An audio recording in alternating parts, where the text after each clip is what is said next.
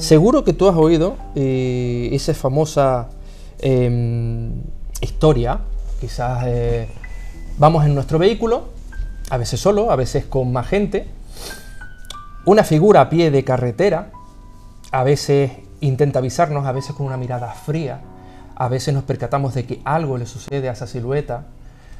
En ocasiones el conductor se para, recoge a este personaje, a este extraño caminante, a veces un joven, a veces una joven, se suben el vehículo, se siguen percatando de que algo sucede, apenas habla, su mirada es fría, y que de repente lo único que dice es cuidado que en esa curva me mate yo.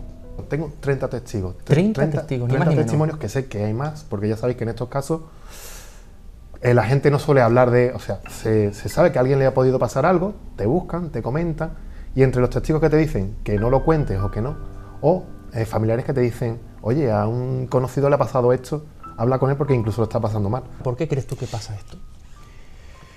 son almas errantes, son al- al- almas errantes tanto positivas como negativas. Hemos hablado de, de que te advierten, otros que te provocan el accidente, eh, el mismo hecho de encontrarte con él, no saber lo que es y intentar evitarlo.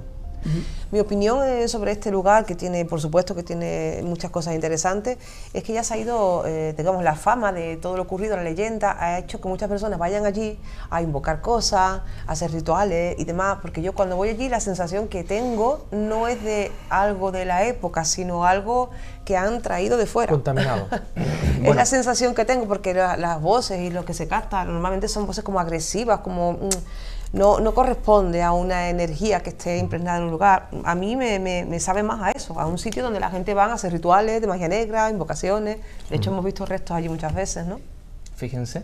Me acuerdo ver una, Barranco Badajoz, Tenerife, años 90, que también salían esas esferas. Y en que, tu casa de Tenerife también. y que, y que dentro incluso a veces en algunas esferas parecen haber rostros. Pero Sí. bueno, eh, José Manuel, ¿por qué las cámaras antiguas, por qué investigar con cámaras antiguas y no con los nuevos dispositivos? Eh,